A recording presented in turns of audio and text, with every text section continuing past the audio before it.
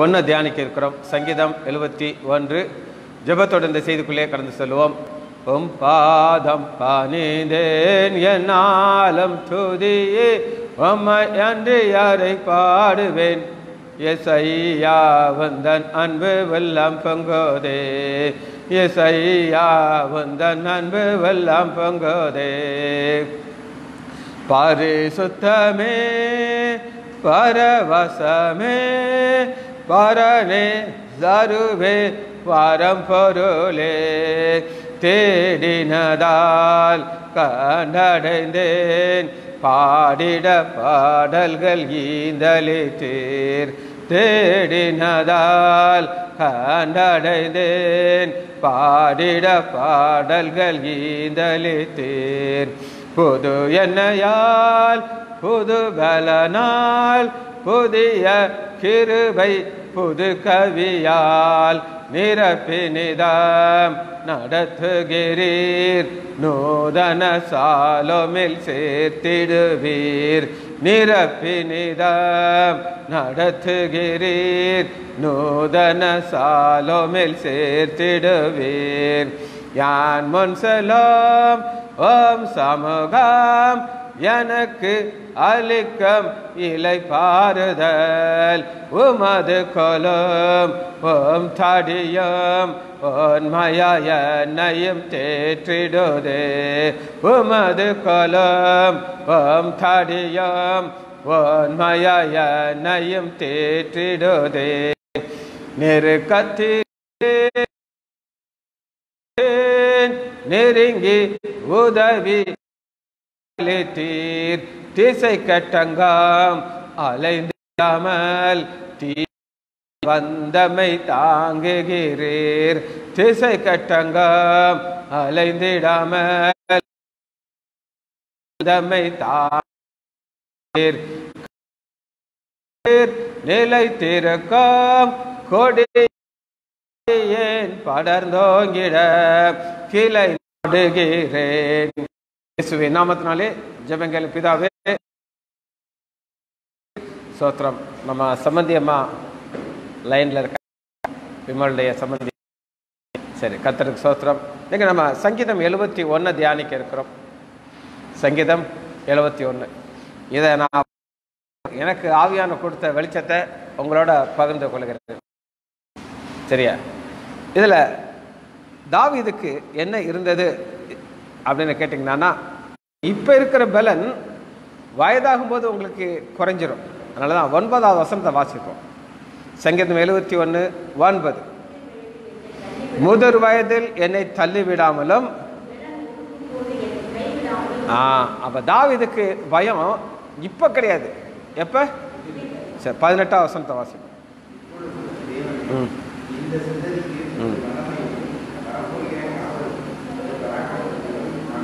நான் அறிவிப்பதற்கு முதிர் வயதில் என்னை கைவிடாது. ரெண்டும் ஒரே பாயிண்டா வேற பாயிண்டா ஒரே பாயிண்ட் தான். நான் ரெண்டாவது இதில் ஒரு ரீசன் சொல்லுகிறார். நீங்கள் எதற்கு என்னை தள்ளிவிடக்கூடாது அப்படின்னா அன்னைக்கு அந்த பிள்ளைகளுக்கு நான் என்ன சொல்லணும்? ஆண்டவர் எனக்கு கொடுத்த ஆசீர்வாதத்தை நான் சொல்லணும்.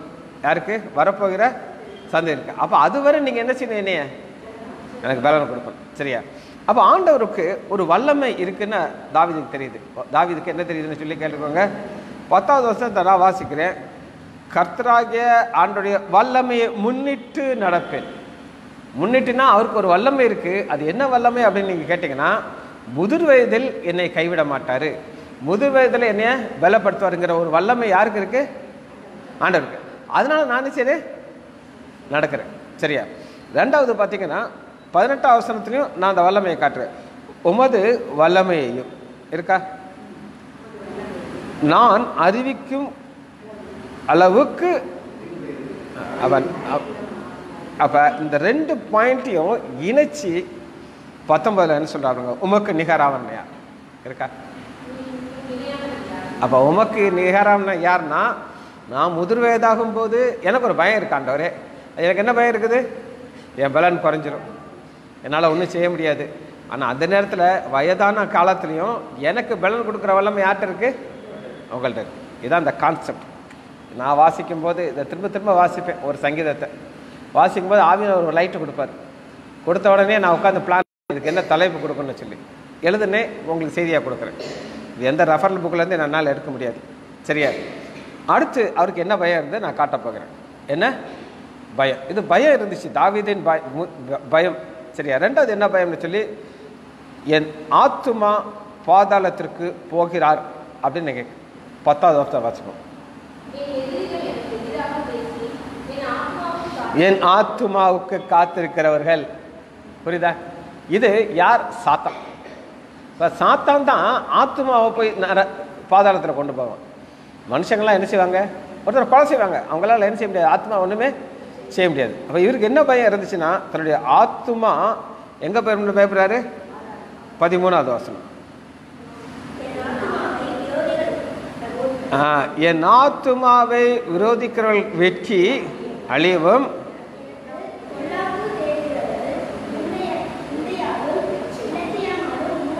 அப்போ அவருக்கு என்ன பயம் இருந்துச்சு? முதிர் வயதில் நான் மறித்துடனே என் ஆத்மா எங்கே போயிடும் நரகத்துக்கு போயிடும் ஏன்னா என் சத்ரு எதை நோக்கி பார்த்துக்கிட்டு இருக்கான்? ஆத்மாவை நோக்கி பார்த்து இருபதாவது வசனத்தை வாசம் ம். ம். பாதாளங்களிலிருந்து ஏறி வர பண்ணோம். பார்த்தீங்களா? இவருடைய மரணங்கிறது அவருக்கு தெரியுது. ஆனால் மரணத்துக்கு அப்புறம் எனக்கு ஒரு உயிர்த்தெழுதல் இருக்குது இதான். ஏன் பைபிளை நீங்கள் வாசிக்கும் போது பார்த்தீங்கன்னா ஆவியானவர் என்ன நோக்கத்தோடு அதை எழுதி வைத்திருக்காரோ நம்ம புரிந்து கொள்ளணும். அப்போ எனக்கு என்ன இருக்குது பயம். இந்த பயம் எதை குறித்த பயம்? வயதான காலத்தில். இந்த வயதான காலத்தில் எனக்கு என்னுடைய ஆத்மா எங்கே போயிடக்கூடாது? நிறையத்துக்கு ஆனால் என்னுடைய மரணத்துக்கு அப்புறம் நீங்கள் என்ன செய்யணும்? பூமியின் பாதாளத்தில் என்ன செய்யணும்? ஏறி வர பண்ண வேண்டும். சரியா? இப்போ இவர் வந்து தன்னுடைய ஆத்மாவை குறித்து ஒரு எச்சரிப்போடு இருக்கிறார். நல்லா கேட்டுக்கோங்க. அவர் எதோட எச்சரிப்பாக இருக்கிறாரு? தனது ஆத்மாவை குறித்து. சரி. இப்போ நான் உங்களுக்கு தாவீதின்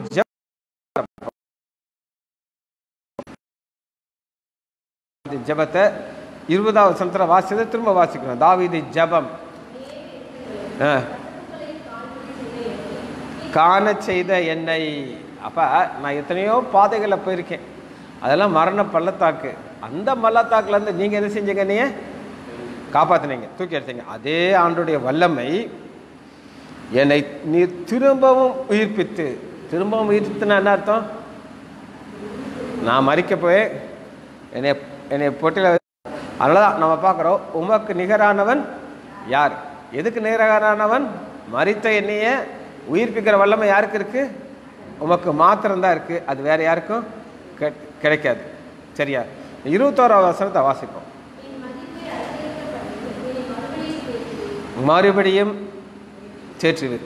மறுபடியும் தேற்றுவீர் அப்படிங்கிறது தான் இது இன்றைக்கி இந்த ஒரு வசனத்துக்கு நான் ஒரு ரெஃபரல் வசனம் சொல்கிறேன் அதை எடுத்துக்கோங்க. அப்போ தான் இது புரியும்.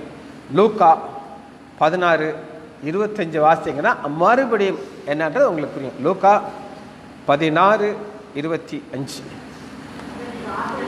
ம். இது என்ன அப்படின்னு கேட்டிங்கன்னா உங்களுக்கு நல்லா தெரியும். லாஸ்டரு பணக்காரன். இப்போ ஆண்டவர் வந்து யார்கிட்ட பேசுகிறாரு பேசுகிறார் வாசிங்கம்மா. ம். பணக்காரன்ட்ட பேசுகிறாருமா ஆ வாசி.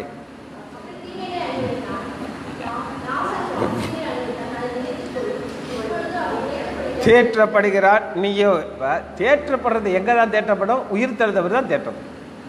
புரியுதா உங்களுக்கு? இந்த பூமியில் வாழும்போது பணக்காரன் ரொம்ப ஜாலியாக இருந்தான். அவனுக்கு ஏதாவது பிரச்சனை இருந்துச்சா? இல்லை. ஆனால் கஷ்டப்பட்டது யார்? லாசர். இப்போ லாசர் ஆண்டவர் என்ன செய்கிறாரு தேற்றுகிறார். புரியுதா உங்களுக்கு? இப்பொழுது அவன் தேற்றப்படுகிறான். சரியா? அந்த தேற்றப்படுற ஒரு ஒரு காரியத்தை தான் தாவீது எதிர்பார்க்கிறார். என்ன இருக்கிறாரு? அதான் சங்கீதம் எழுபத்தி ஒன்று இருபத்தி ஒன்று என் மேன்மையை பெருக பண்ணி என்னை மறுபடியும் தேற்று.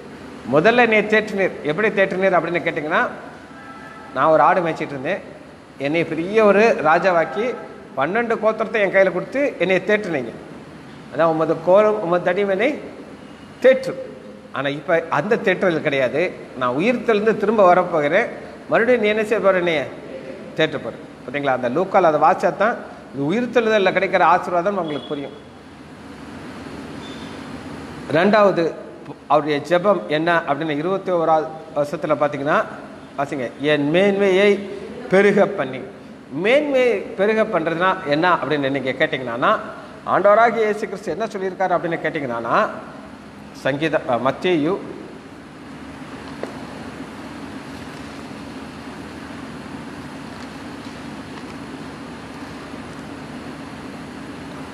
ஆறாவது அதிகாரம் இருபதாவது வசனம். பரலோகத்திலே உங்கள் பொக்கிஷங்களை ஆ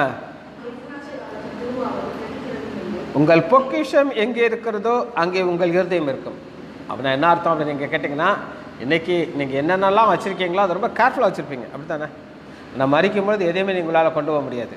ஆனால் நீங்கள் பரலோகத்தில் என்னெல்லாம் நீங்கள் சேர்த்து வைக்கிறீங்களோ அதுதான் உங்களுக்கு என்ன கிடைக்கும்? மேன்மையை பெருக பண்ணுவது அதை நான் உங்களுக்கு பல முறை எப்படி சொல்லியிருக்கேன் அப்படின்னு கேட்டிங்கன்னா இன்னைக்கு என்ன கிழமை? வியாழக்கிழமை. வியாழக்கிழமைனா முதல்ல எனக்கு ஒரு ஐடியா இருக்கும் என்ன செய்தி சொல்ல போகிறேன்ட்டு சங்கீதம் வரிசையாக நிறைய எழுதி வச்சுருக்கேன். ரெகுலர் செய்தி சொல்லும்போது ஒரு சங்கீதத்தை நான் கொடுப்பேன். இந்த சங்கீதத்தை நான் ஏன் கொடுக்குறேன் அப்படின்னு கேட்டிங்கன்னா சங்கீதத்தையே நான் உங்களுக்கு ஸ்பெஷலாக ஏமா இன்னொன்று எங்கம்மா? எடுத்துட்டோக்கா புரியுதா உங்களுக்கு? சங்கீதம் இது ஒரு ஸ்பெஷலாக எனக்கு ஒரு வெளிப்பாடு ஆண்டவர் கொடுக்குறாரு. இப்போ என்னை வந்து ஆண்டவர் கொண்டு போகும்போது ஆவியானவர் எதில் கொண்டு போகிறாரு சங்கீதங்களில். நீங்கள் வாசித்தா இது உங்களுக்கு புரியுமா புரியாதா? புரியாது. ஆனால் எனக்கு ஸ்பெஷல் ஆசீர்வாதம். என்னது?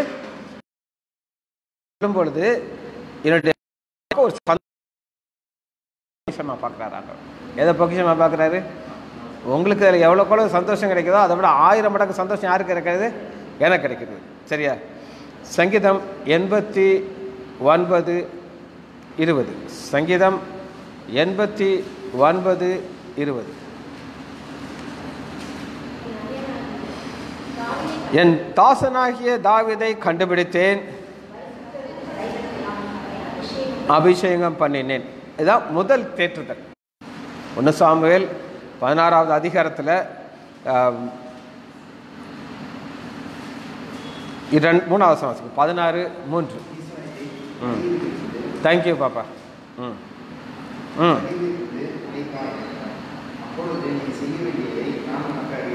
நான் உனக்கு சொல்லுகிறவனை எனக்காக அபிஷேகம் பண்ணுவாங்க பழைய ஏற்பாட்டில் ரெண்டு வகையான அபிஷேகத்தை நீங்கள் பார்க்கலாம். ஒரு அபிஷேகம் யார் கொடுக்குறாருன்னா ராஜாக்கு. இன்னொரு அபிஷேகம் தீர்க்கதரிசிகளுக்கு கொடுக்குற அபிஷேகம். ஆசாரியர்களுக்கு கிடைக்கிற அபிஷேகம். ஆசாரியர்களுக்கு அபிஷேகம் பண்ணுவாங்க. ஆனால் இங்கே அபிஷேகம் பண்ணும்போது எல்லாரையும் தள்ளி விட்டுட்டு தள்ளி விட்டுட்டு ஆண்டவர் எப்போ வர காத்துட்ருக்காருன்னா பன்னிரெண்டாவசனம் பாருங்கள் வசனம் ஆள் அனுப்பி. அவனை அழைப்பித்தான் சிவந்த மேனியும். ம். ம். கர்த்தர் இவன் தான் எழுந்திவனை. ஆ பார்த்தீங்களா இந்த அபிஷேகம் கிடைக்கும்போது எப்படி இருக்கும்? இவர் ஆடு மேய்ச்சிக்கிட்டு இருக்காரு. இவங்க அப்பா இவர் எதில் எந்த லிஸ்ட்லேயே சேர்க்கல? பிள்ளைகளையும் லிஸ்ட்டு சேர்க்கல. ஆனால் ஆண்டவர் விடலை விடாமல் கொண்டாந்து அபிஷேகம் பண்ணி வச்சார். இதான் முதல் அபிஷேகம். முதல்ல கிடைச்ச தேர்தல். ரெண்டாவது தேர்தல் ராஜாவாகும் பொழுது சங்கீதம் எண்பத்தி ஒன்பது இருபத்தி ஏழு. சங்கீதம் எண்பத்தி ஒன்பது இருபத்தேழு கிளம்பா கிளம்பா பார்ப்பேன் ம். முதற் பேருமானவனும் மகா உயர் உ- உயர்ந்தவனும் ஆக்கணும் இந்த வாக்கு தத்துவத்தை அவருக்கு கிடைச்சிச்சு. வாக்கு தத்துவம் கிடைச்சாலும் அவர் ஆடுதான் வச்சுட்டு இருந்தார். ஆனால் அவருக்கு தெரியும். என்னை ஒரு நாள் ஆண்டவர் என்ன செய்வார்? உயர்த்துவார். அந்த ஆண்டவர் உயர்த்தினாரா இல்லையா? உயர்த்தினார். இப்போ திரும்ப என்னை என்ன செய்வார்? தேற்றுவார். அதான் ரெண்டாவது அவருக்கு கிடைக்கக்கூடிய ஆசீர்வாதம். சரியா? முப்பத்தி ஆறாவது வருஷம் சங்கீதம் எண்பத்தி ஒன்பது முப்பத்தி ஆறு. அவன் சந்ததி இந்த சந்ததி யார் சொல்லுங்க? ஆண்டவராகி இயேசு கிறிஸ்து.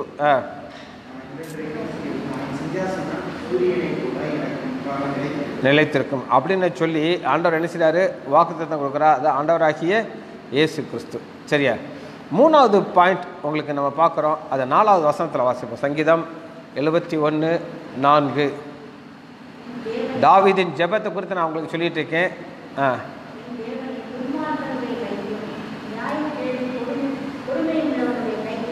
பவானி சங்கீதம் எழுபத்தி ஒன்று தியானிக்கிறோம். எழுபத்தி ஒன்று வாசிமா எழுபத்தி ஒன்று நான்கு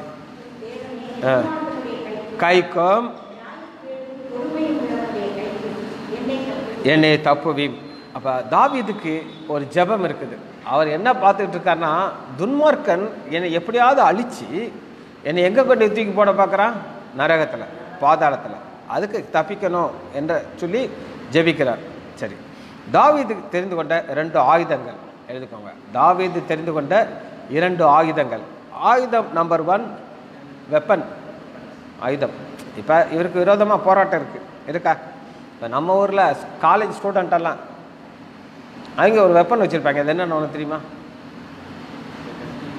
கத்தியெல்லாம் ஹாஸ்பிட்டலில் கொண்டுடக்கூடாதுயா ஹாக்கி ஸ்டிக் தெரியாதா? ஆட நீங்கள் நீலாம் சண்டையெல்லாம் பார்க்க எல்லா காலேஜ்னாலும் எல்லா காலேஜ்லேயும் ஹாக்கி ஸ்டிக் வச்சுருப்பாங்க. எல்லா இடத்துலையும் தான். அவங்க சண்டை வந்தால் எதை தூக்கிடுவாங்க? ஸ்டிக்கை தூக்கிட்டு வந்துருவாங்க. அது அவங்க ஆயுதம். அப்படி தானே யாரும் கேட்க முடியல ஏன்டா ஆயுதம் வச்சுருக்கேன்ட்டு.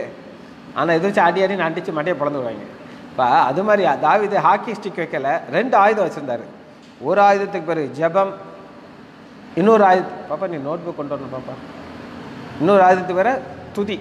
சரியா? ஒரு ஆயுதத்துக்கு பேர் ஜெபம் இருபதாயிரம் பேர் துதி. சரி. முதல்ல ஜெபத்தை நம்ம பார்க்க போகிறோம். நம்பர் ஒன் எழுபத்தி ஒன்று ஒன்று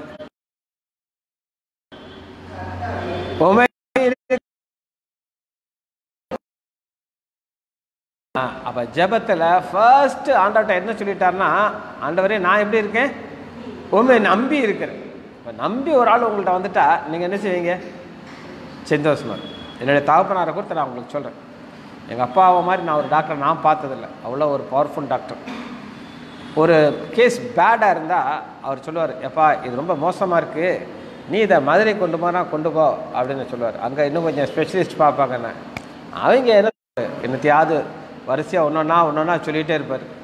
சொல்லி சொல்லி சொல்லி அந்த பேஷண்ட் சரியாகிற வரை எந்திரிக்க மாட்டாங்க எதனால் துட்டு கிடைக்கும் இல்லையா? எதனால் செய்கிறாரு உங்கள் நம்பிட்டேன் சார். நீங்கள் தான் சார் கடவுள். நீங்கள் செஞ்சீங்கன்னா இல்லைன்னா நான் எங்கள் ஊருக்கு கொண்டு போகிறேன் சார். அந்த அளவுக்கு எங்கள் அப்பா என்ன செய்வாங்க அவங்க? நம்புவாங்க. நம்பனோட எங்கள் அப்பா என்ன செய்வார்? எங்கள் அப்பா என்ன செய்வார்? ட்ரீட்மெண்ட் ஆரம்பிச்சுவார் புரியுதா உங்களுக்கு?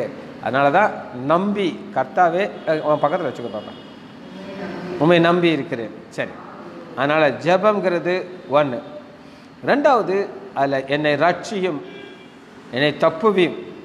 ஒன்பதாவது வசனத்தில் என்னை கைவிடாதிடும் பன்னிரெண்டாவது வசனத்தை வாசிப்போம்.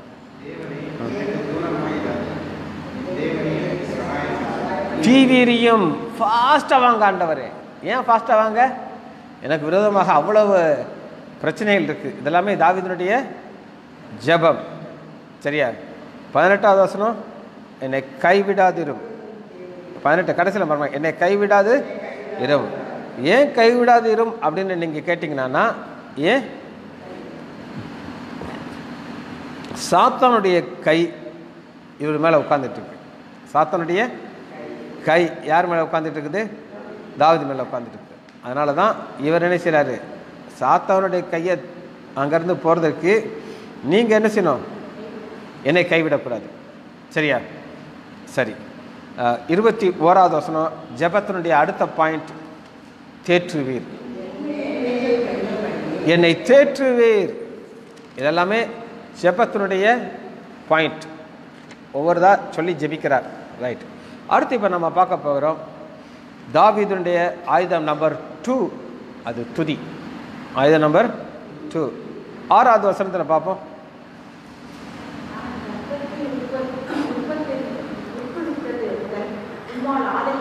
ம். துதிப்பேன். சரியா? ஏமா ஜெபமும் துதியும் ஒன்றா வேறயா? எப்படி வேற வேற? நான் சொல்லட்டா? ஜெபம் அப்படின்னா என்னென்னா அது என்னையவே சுற்றி வந்துகிட்டு இருக்கும். ஆண்டவரே அதை கூடும் இதை கொடும் அதை கூடும் இதை கொடுன்னு சொல்லி என்னத்தையாவது நம்ம மனசு கேட்டுக்கிட்டே இருப்போம். நம்ம கேட்போம் மரியாதை பற்றி எனக்கு தெரியாது. எனக்கு ஒரு ஆம்பளை பிள்ளை கொடுங்க ஆண்டவரேன்னு சொல்லி நீ கேட்டேன்னு வச்சுக்கோ. அவர் இல்லைப்பா உனக்கு பொம்பளை பிள்ளை தான் லாய்க்கு. அந்த பிள்ளை தான் உங்களை நல்லா அன்பாக வச்சுக்கிட்டோம் இல்லாண்டவர் எனக்கு கொடுத்தா தான் ஆச்சு. எனக்கு நடந்த சம்பவத்தை சொல்கிறேன் எனக்கு கற்பனை கதை எனக்கு. என்னுடைய மனைவி அடிக்கடி ஒன்று சொல்லுவாங்க. அவங்க பாட்டி அதாவது என்னுடைய மாமியாருடைய அம்மா அவங்க இதுக்கு முதல் ரெண்டு பொம்பளை பிள்ளை. எங்கள் மாமியாருக்கு அக்கா ஒன்று எங்கள் மாமியார் ரெண்டு பேர் ரெண்டு பசங்க ரெண்டு பொம்பளை பிள்ளை. அதுக்கு ஒரே வேதனை. எனக்கு ஆண்டவரே நீர் ஒரு பையன் கொடுத்தா தான் ஆச்சின்ட்டு ஆடு ஆடுன்னு ஆடும். யார் யார்கிட்ட ஆண்டுட்ட. கொடுத்தாரு. ஆண்டவர் கொடுத்தாரு. கொடுத்து என்னாச்சுன்னா அந்த அவரு சிட்னி சாம்வேல் அந்த பையன் பேர். அவ்வளவு நம்பர் ஒன் பெஸ்ட்டு பாய் அப்படி ஒரு பையனை பார்க்க முடியாது. காலேஜில் லெக்சராக ஆனார். பெரிய டிபார்ட்மெண்ட்டில் ஒரு அசிஸ்டன்ட் ப்ரொஃபஸர் பொசிஷன் போயிட்டார். எப்போ? முப்பத்தி நாலு வயசில். அவ்வளோ குயிக்காக ப்ரொமோஷன் ஆயிடுச்சா? ஆனால் ஆண்டவர் வந்து என்ன செஞ்சார்னா ஏன் இந்த பிள்ளைய உனக்கு கொடுக்கலன்னா முப்பத்தி நாலு வயசில் அவருக்கு கல்யாணம் ஆகி ஒரு பையன் இருக்கான். சின்ன பையன் பொடி பையன் மூணு வயசு பையன். அவருக்கு லிவரில் கேன்சர் கேன்சர் வந்து அவர் வாமிட் பண்ணால் ரத்த ரத்தமாக வரும். எங்கள் மாமியார் திருவனந்தபுரம் மெடிக்கல் காலேஜில் HOD number one post doctor Sugunabai. அவங்க நினச்சா என்னன்னாலும் சாதிக்கலாம். அவங்களால எதுவுமே செய்ய முடியாது. எதுவுமே செய்ய முடியாத ஒரு நோய் வந்துருச்சு. அப்படியே ரத்தமாக வாந்தி எடுத்து எடுத்து அவர் இறந்து போயிட்டார். என்ன செய்யக்கூடாது? போராடி கேட்கக்கூடாது. அவருக்கு தெரியும் உனக்கு பொம்பளை பிள்ளை கொடுத்துருக்காரா? ஏசப்பா ரெண்டு அழகு குட்டி பிள்ளைகளை கொடுத்துருக்கீங்க ஆண்டவர். என்ன அழகு பிள்ளை என் பிள்ளைகிட்ட சந்தோஷமாக ஆண்டவர் நினச்சி நீ துதிக்கணும். நீ என்ன செய்யக்கூடாது? கேட்கக்கூடாது. கொடுங்க ஆண்டவரே கொடுங்க. கேட்டால் கொடுப்பாரு. அப்புறம் ஏன்டா அதை கொடுத்தாருன்னு சொல்லி வருத்தப்படுறாரு. அதுக்கப்புறம் ஒரு பையன் பிறந்தான். அந்த பையன் இருக்கிற சொத்தெல்லாம் வித்துட்டான். புரியுது? அவங்க பயங்கர குடிகாரன் ஆகிட்டான் ரெண்டு அவங்க எங்கள் மாமியார் வசனத்தை வாசிப்போம் என் வாய் உமது துதியினாலும் நிறைந்திருப்பதாக. இந்த வாயிலிருந்து ரெண்டு காரியம் வர முடியுமா? ஒன்று தூஷணமான காரியங்கள் வர முடியும். என்ன வர முடியும்? ரெண்டு காரியம் எங்கேருந்து வரலாம்? வாயிலிருந்து வரலாம். ஆனால் ஆண்டவர் அதை குறித்து ரொம்ப கேர்ஃபுல்லாக இருக்கணுங்கிறாரு. எடுத்துக்கோமா? யாக்கோபு எடுத்துக்கணும் நம்முடைய வாயிலிருந்து என்ன வரலாம் அப்படின்னு சொல்லி மூணாவது அதிகாரம் ஒன்பதாசனம் வாயிலிருந்து என்ன வரலாம்? த்ரீ ஒன் ஃபோர்மா த்ரீ ஒன் ஃபோர் நாவை அதனாலே நாம் பிதாவாகிய தேவனை துதிக்கிறோம். மனுஷனை அதனாலே சபிக்கிறோம். பார்த்தீங்களா இந்த வாயிலிருந்து ரெண்டு காரியம் வரலாம். என்ன வரலாம்? துதி வரலாம் சபிக்கும் சொல்லலாம் அது யாரை சபிக்கிறேன்னு சொல்லுங்க? பைபிள் பாரு. தேவனுடைய சாயலாய் உண்டாக்கப்பட்ட மனுஷன். புரியுதா? நீங்கள் யாராவது சபிச்சீங்கன்னா நீங்கள் யாரை சபிக்கிறீங்க சொல்லுங்கள் தேவனுடைய சாயல உண்டாக்கப்பட்ட ஒரு மனுஷனை தூக்கி அவரை துதி அவரை சபிக்கிற மாதிரி தான். புரியுதா உங்களுக்கு? மனுஷனை ஆமாம் அதனால தான் துதித்தலும் சபிப்பலும் ஒரே வாயிலிருந்து புறப்படுகிறது. என் சகோதரர் எப்படி இருக்கலாகாது. அதுக்கு ஒரு உதாரணம் சொல்கிறார் என்ன உதாரணம் சொல்றாருன்னா ஒரே வீட்டிலிருந்து தித்திப்பும் சுரக்குமா? எங்கேயாவது கேள்விப்பட்டிருக்கீங்களா? ஒரு ஊத்து தாயா? கொஞ்ச நேரம் அது என்ன வரும்? தித்திப்பாக வரும். நீ கொஞ்ச நேரத்தில் என்ன வந்துடும் வரும். ஆனால் எங்கே வருது? எங்கே வருது? நம்ம வாயிலிருந்து வருது. அதனால தான் ஆண்டவர் சொல்கிறாரு நீ என்ன செய்யக்கூடாது? சபிக்க கூடாது சரி தாவிதுடைய ஆயுதத்தில் நம்பர் டூ காட்டுகிறேன். அது என்னது துதி. எட்டாவது வசனத்தை திரும்ப ஒரு வாசிப்போமா? எழுபத்தி ஒன்று எட்டு சங்கீதம். என் வாய் உமது துதியினாலும் நிறைந்திருக்கிறது. பதினாலாவது வசனத்தை வாசிப்போம். மென்மேலும் உமை துதிப்பேன். தாவீதுக்கு திடீர்னு ஒரு யோசனை வந்துருச்சு. எம்மா நாம் துதிச்சது காணுமா காணாதா? அப்படின்னு யோசிக்கிறாரு. யா இன்னும் கொஞ்சம் துதி. இன்னும் கொஞ்சம் துதி. இந்த இந்த அக்காமார்கள் சமையல் பண்ணும்போது என்ன செய்வாங்கன்னா உப்பெல்லாம் கரெக்டாக இருக்கும் உரப்பெல்லாம் கரெக்டாக இருக்கும். எங்கள் வீட்டில் நடக்கும் இந்த விஷயங்கள்லாம். எங்கள் இதில் ஒரு சமையக்கார அக்கா இருக்கா அவள் டாக்டர்மா ஏதாவது ஸ்பெஷலாக அன்றைக்கா செய்வா. ஏக்கா கொஞ்சம் உப்பு கம்மியாக இருக்குல்லக்கா? அப்படின்வா இவ்வளோ சரின்னு போடுன்றவா போட்டால் அடுத்து வாயில் வைக்க முடியாது. உப்பு அதிகமாகனா வாயில் வைக்க முடியாது. ஆனால் ஆண்டவர் அதிகமாக துதிச்சா மென்மை கிடைக்கும். புரியுதா உங்களுக்கு? அதான் வெப்பனில் ரெண்டாவது வெப்பன் துதிக்கிறது மென்மேலும் பத்தொன்பதாவது வசனம் வாசி தேவனே பெரிதானவர் செய்தீர் என்று சொல்லி துதிக்கிறார். எப்படி துதிக்கிறாரு?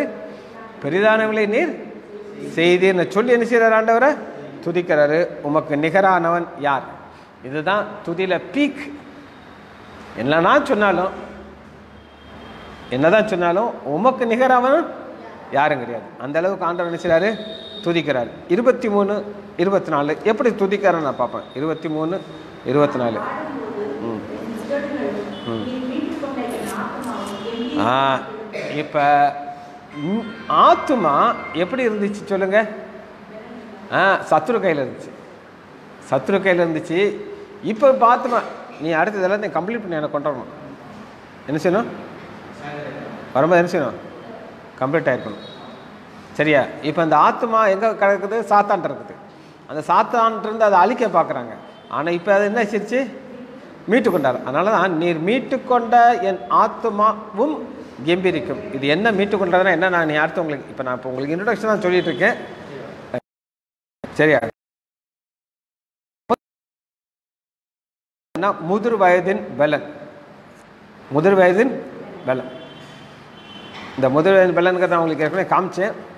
திரும்ப உங்களுக்கு ஒரு காமிச்சிட்டேன். ஒன்பதாவது வசனம்.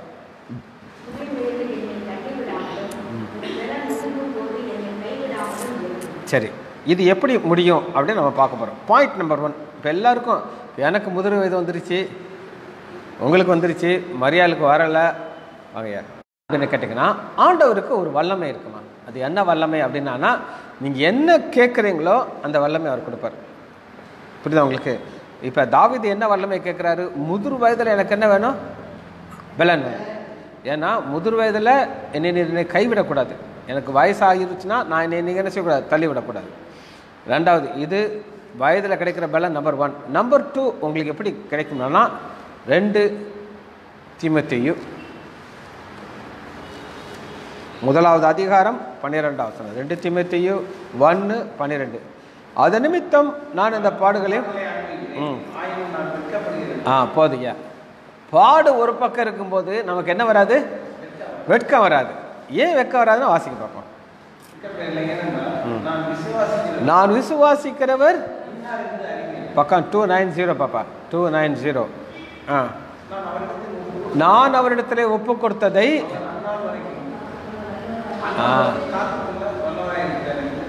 ஆ.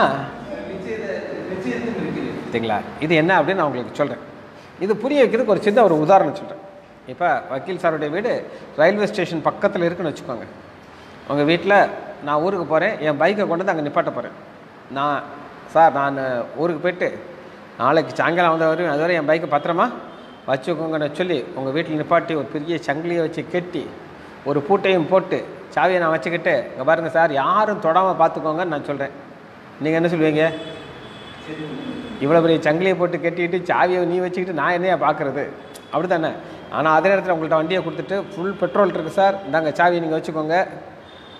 என்னனாலும் நீங்கள் இதை யூஸ் பண்ணிக்கோங்க அப்படின்னு வச்சு உங்கள்கிட்ட கொடுத்தா நீங்கள் என்ன செய்வீங்க? என்னை நம்பி கொடுத்துருக்காரு டாக்டர்ன்ட்டு பத்து முதல் என் வண்டியை உள்ளே வச்சுட்டு அப்படி தான் உங்கள் வண்டின்னு போட்டேன் அப்படி தானே அதான் ஒப்பு கொடுக்குறது. இன்றைக்கி நீங்கள் என்னெல்லாம் ஆண்டவர்கிட்ட ஒப்பு கொடுக்குறீங்களோ அவைகளை மாத்திரம் ஆண்டவர் காப்பாற்றுவார் பார்த்தீங்களா அந்த வசனம் என்ன சொல்லுது நான் உங்களுக்கு காட்டேன் ஏன நான் நான் விசுவாசித்திருக்கிறார் இன்னார் என்று நான் அறிவேன். நாலேஜ் அறிவேன் என்னது? நாலேஜ் இப்போ அந்த ஃபேஸ்புக்கை உங்களால் போட முடியுமா பிரதர் அப்லோட் உங்களால் பண்ண தெரியுமா? தெரியாது.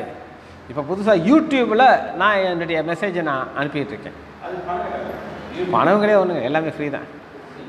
இப்போ அந்த யூடியூப்பில் நான் ஒரு நாள் படுத்து தூங்கிட்டு இருக்கும்போது ஆண்டவர் எனக்கு ஒரு தலைப்பு கொடுக்குறாரு. டாக்டர் பாஸ்டர் அப்படின்ட்டு. நான் அவங்க இது டாக்டர் பாஸ்டர்னு எப்படி ஆண்டவர் கொடுக்குறாரு? இது எப்படி நான் தான் பாஸ்டரே கிடையாதுன்ட்டு. ஆனால் இங்கேருந்து அநேகர் என்னை எப்படி தான் சொல்கிறாங்க பாஸ்டர் தான் சொல்கிறாங்க சரி எல்லோரும் அக்செப்ட் பண்ணிக்கிட்டாங்க நம்ம என்ன செய்யணும்? இப்போ எல்லாரும் ஒருத்தனை திருடன்னு சொல்லிட்டாங்க. அவங்கள அவன் யார் தான் அவன்? திருடன் தானே. அதே மாதிரி நம்மளை எப்படி அக்செப்ட் பண்ணிக்கிட்டாங்க? முதல் நான் பாஸ்டர் இருந்தேன்னா டாக்டராக இருந்தேன்னா அதனால் முதல் டாக்டர் ரெண்டாவது என்ன மாறிட்டு அந்த தலைப்பில் நான் கொடுத்துருக்கேன். இது இது இது என்னால் அப்லோட் பண்ண முடியும். முன்னாடி எனக்கு தெரியாது இப்போ மாரிராஜ்கிட்ட கேட்டேன் அவர் அழகாக சொல்லிக் கொடுத்தாரு இப்போ நானே என்ன செய்கிறேன் யாருமே எதிர்பார்க்கறது கிடையாது. எதுக்காக சொல்கிறேன் சார் நாலேஜ் எது நாலேஜ் இது? அப்லோட் பண்ணுறது ஆனால் இங்கே நாலேஜ் ஆண்டவர் மேலே இருக்கிற விசுவாசம். நான் விசுவாசிக்கிறவர் என்ன நான் அறிவேன். அவரிடத்துல ஒப்பு கொடுத்ததை. அதான் முக்கியமானது. நீங்கள் என்னெல்லாம் ஆண்டர்கிட்ட ஒப்பு கொடுக்குறீங்களோ அவளை மாத்திரம் ஆண்டவர் பார்த்துக்கிட்டு இதான் விசுவாசம். நீ உன் பிள்ளைய நீ ஒப்பு கொடுத்தேன்னா ஆண்டவர் யாரா கா பார்த்துக்கிட்டாரு உன் பிள்ளைய பார்த்துக்கிடுவார். அப்போ தாவீது இங்கே எதை ஒப்பு கொடுக்குறாரு? அவருடைய முதிர் வயதை ஒப்பு கொடுக்குறாரு. ஆண்டவரே என் முதிர் வயதில் வெள்ளம் குறையாதபடி இருக்க நீங்கள் என்ன செய்யணும்? பார்த்துக்கொள்ளணும். சரியா? தாவீது தேவன் யார் அப்படின்னு நான் உங்களுக்கு காட்டப்போகிறேன் தாவீதனுடைய தேவன் யார்? சங்கீதம் எழுபத்தி ஒன்று பத்தொம்போது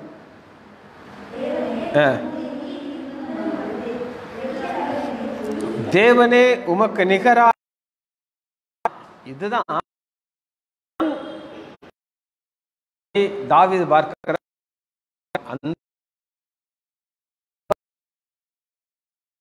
இந்த நிகரானவன் யார் அப்படின்னு நான் கேட்டிங்கன்னா எங்கே நீங்கள் பார்க்கலாம்னா யாத்ராகமம் பதினஞ்சு பதினொன்று யாத்ராகமம் பதினஞ்சு பதினொன்று கர்த்தாவே தேவர்களில் உமக்கு ஒப்பானவன் யார்?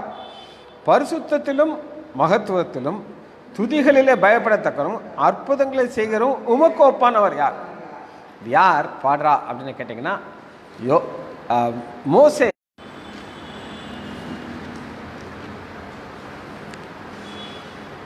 ஐந்தாவது அதிகாரம் இருபத்தி ரெண்டாவது வசனம் பாருங்க. ஐந்து இருபத்தி ரெண்டு தாவி அப்போ அப்பொழுது கர்த்தரை திருப்பி போய் ஏன் ஆண்டவரை என்ன அனுப்பினீர்? உங்களுக்கு பவரே இல்லையா? அப்படின்னு சொல்லி கேட்குறாரு. அடுத்த வசனம் பாருங்க. நான் உமது நாமத்தை கொண்டு ஜனங்கள் உபத்திரப்படுறாங்க என்ன ஆண்டவரே ஒரு சேஞ்ச் இல்லை. ஜனங்கள்லாம் உபத்திரப்பட்டிருக்காங்க உங்கள் பவர்லாம் போச்சோ? எது போச்சா?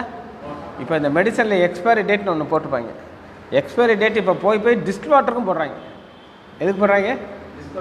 டிஸ்டில் வாட்டர் டிஸ்டில் வாட்டர் தெரியாதா? ஏ ஒரு ஊசி வச்சு மருந்தை உள்ளே ஏற்றி குளிக்கும். சாதாரண தண்ணி அது. ஒரு பவுடர் டிஸ்டில் வாட்டர் அதுக்கும் எக்ஸ்பைரி போட்டிருக்கான். ஏன்னா கவர்மெண்ட்டில் ரூல் போட்டிருக்காங்க எல்லாத்துக்கும் என்ன பண்ணணும்? அப்போ இவர் என்ன கிடைக்கிறா உங்கள் கைக்கு உங்கள் பவர் எக்ஸ்பைரி ஆகி போச்சா கேட்குறாரு யாருக்கு? ஆண்டோடைய பவர் அதனால தான் இந்த ஜனங்கள் எப்படி இருக்காங்க? நீர் உம்முடைய ஜனங்களை விடுதலை பண்ணலையேங்கிறாரு. ஆனால் ஆண்டவருடைய நாமத்தினுடைய வல்லமையை காட்டுறாரு. ஆறாவது அதிகாரம் மூணாவது வசனம் பாருங்க. இல்லைங்களா சர்வ வல்லமை உள்ள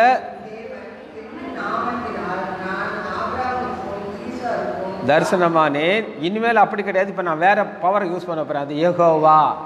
இந்த யகோவாங்கிற தேவனுடைய பவரை வெளியில் வந்த உடனே இப்போ மோசே ஆண்டவர் எப்படி சொல்கிறார் பாருங்க பஞ்சாவது அதிகாரத்தில் பதினோசில் கர்த்தாவே தேவர்களில் உமக்கோப்பானவர் யார்? எகோவாங்கிற தேவனுடைய நாமம் எஸ்பெஷல் நாமம் இந்த நாமத்துடைய வல்லமை வரும் பொழுது இவர் எப்படி துதிக்கிறார் ஆண்டவரை? உமக்கு ஒப்பானவன் யார்? சரி.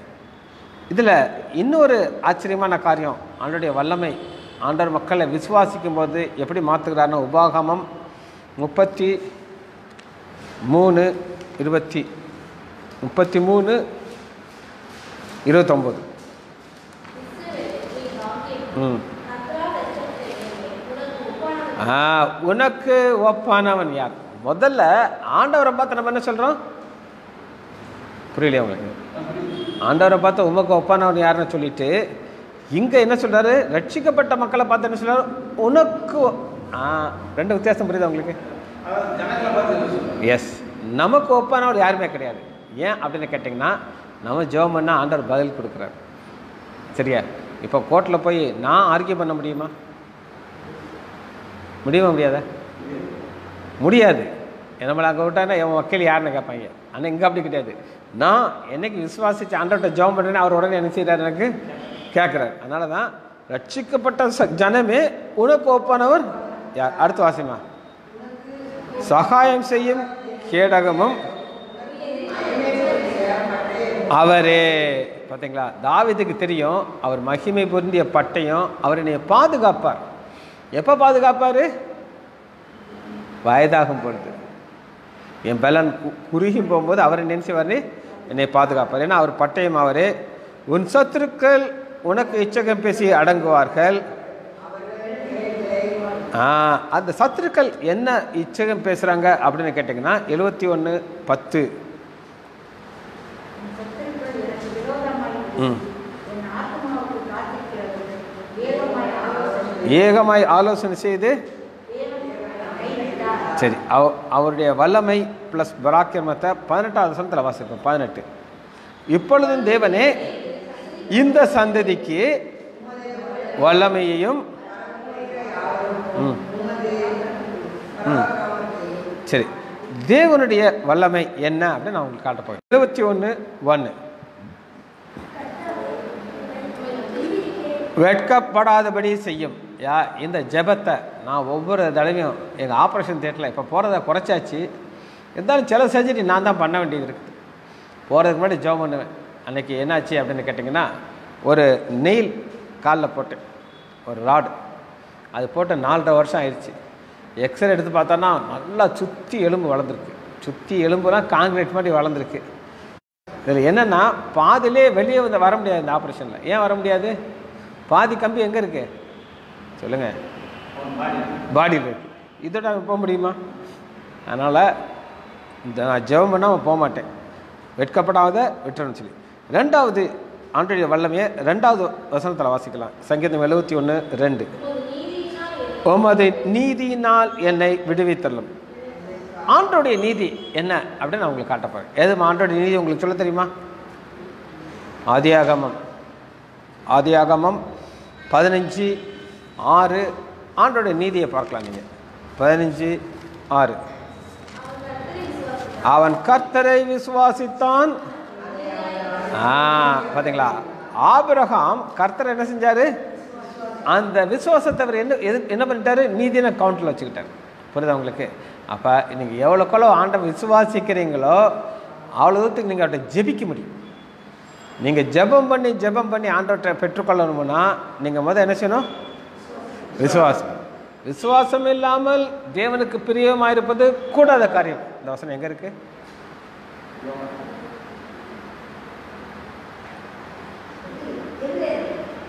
எவரேர் எங்க? பதினொன்று லீலா ஒன்று கிடையாது லீலா பதினொன்று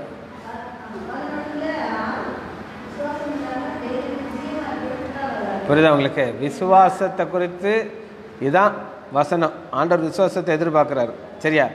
இப்போ இந்த விசுவாசம் நமக்கு எப்படி கிடைக்குது? நான் காட்ட போகிறேன் யாருக்கு? கலாத்தியர் மூணாவது அதிகாரம் ஆறாவது வசனம். இந்த விசுவாசம் நமக்கு எப்படி பெற்றுக்கொள்ளப் போகிறோம்? மூன்று ஆறு. கலாத்தியர் மூணாவது அதிகாரம் ஆறாவது வசனம். அந்தப்படியே ஆப்ரஹாம் தேவனை விசுவாசித்தான்.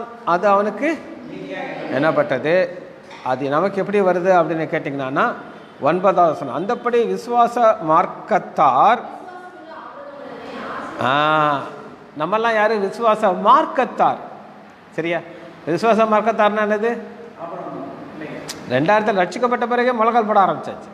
என்னால் ஆண்டோட்ட ஜோ பண்ணி தான் வாங்கிக்கிறோம் வக்கீல் சார் இருக்காரு ஒரு டீ குடித்தா கூட ஜெர்மனி டீ குடிக்கிறார். அன்னைக்கு மெர்சி செல்லம்மாள் சொல்கிறாங்க அவங்க வீட்டுக்காரர் உங்களுக்கு தெரியுங்களா அவர் வீட்டுக்காரர்? நல்லாவே தெரியும்.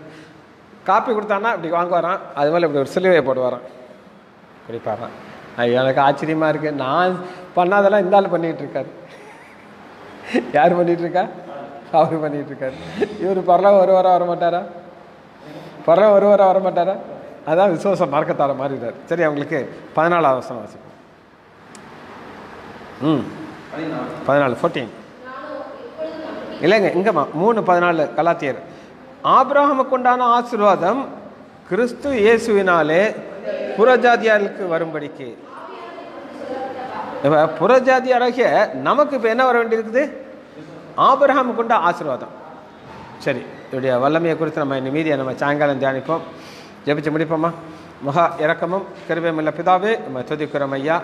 நீ நல்லவரையா இரக்கமுள்ளவரையா இரக்கமுள்ளவர் ஐயா ஐயா சங்கீதம் எழுபத்தி ஓராவது அதிகாரத்தில் இருக்கிற அலமான சத்தியத்தை தூய ஆவியானவர் எங்களுக்கு வெளிப்பாடு கொடுப்பதற்காக. நன்றி ராஜா.